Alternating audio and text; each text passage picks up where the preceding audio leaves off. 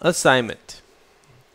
In this assignment, we are going to be taking um, basically there's a, there's another folder within the videos, and it has a lot of tattoo flash. This bird started out to be you know tattoo flash. I used to be a tattoo artist for like eight years before I actually got into graphic design and 3D modeling and all that good stuff. So I have a lot of flash laying around. I figured I utilize it in some manner, and it turns out to be great, you know, a great source tool for uh, especially graphic design, especially with ripping down color. So take these, take the flash, open it. You could choose any flash picture you want and color separate it, and you're only allowed two colors. Okay? When you are done, display it in two different fashions. I want your PDF saved in that well organized place that I have. You know, if I look at this, take for the example, um, I have it on another computer. Let's pretend that this is our server right here. It's called print, but we all know this to be Taro server. And under there, I have advanced graphics, and this is going to be saved under the 02 33 Illustrator directory, which I got to put out there yet. And it's going to be first name, then last name, then SEP. I want it that way. As a PDF, you know that one I just showed you in the last video, that one that has two pages. That's what I want. I also want uh, a preview of this side by side. Okay, and here's how you do that. I want to take and export this as a JPEG onto my desktop. Call this one step.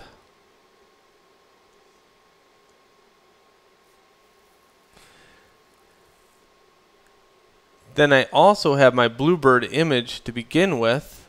So that's going to be somewhere and I open up a new document in Photoshop, US paper, 8.5 by 11, 300 dots per inch is fine. And I actually want this uh, 8.5 and this one 11.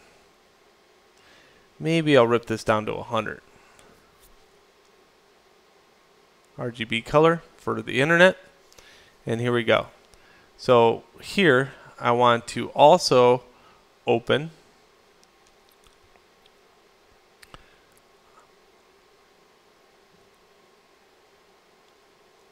This.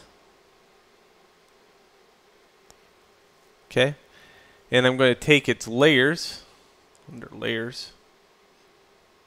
I'm going to float all my windows. Float all in windows. That way I could take this layer and move it off to this document. Okay, I'm going to shrink that a little bit by using the show transformation controls. This is all very introductory stuff, so you should know this by now, but I'm just still walking you through it.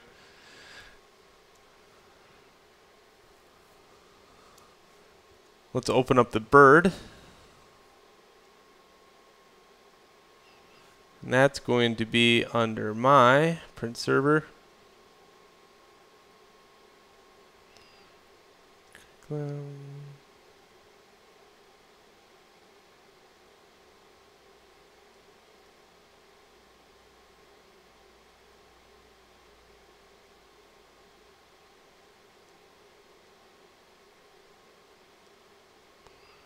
okay, I got the bird. Again, it loves to do this whole floating in Windows things. I, I like to float all in Windows myself, but that's just me. Uh, if you get confused over you know how to float or how to unfloat, you can just click and drag one out too. That's another way to do it. But I really despise the float or the tabular window format that the CS4 actually presents. It makes it harder to transfer layers back and forth, I think. So here, I got this one. So you know everything in my class must be proven, right? That way if I show somebody else, they actually know what the point of the lesson was.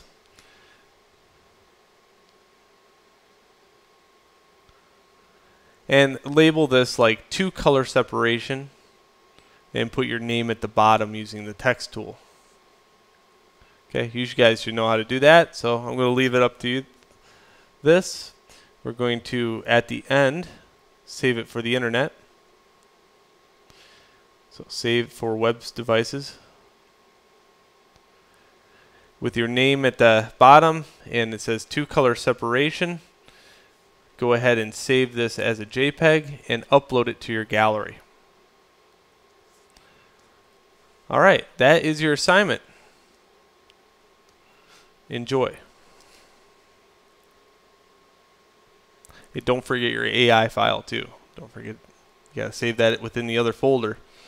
And I want that to the the PDF thing. I want that. Save it all. I want everything.